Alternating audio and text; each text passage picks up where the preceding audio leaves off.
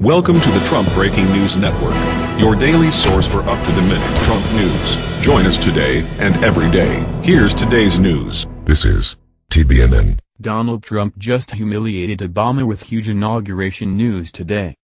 By Danny Gold.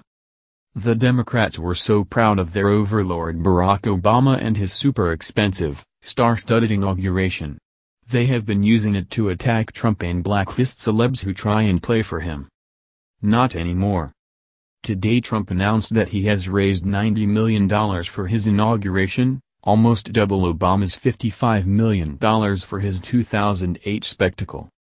What is Trump planning on doing with all this money? Nobody knows.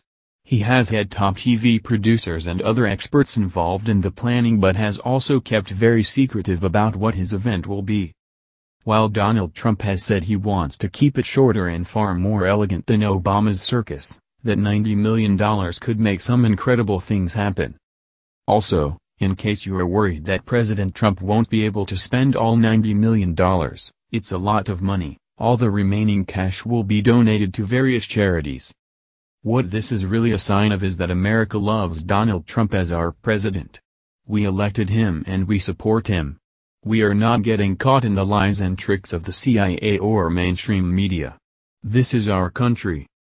So, while Trump clearly doesn't need any more donations at this point, you can still help him out by sharing this news and tuning in on January 20th to see his incredible and historic inaugural event. That's the news. Join us here every day.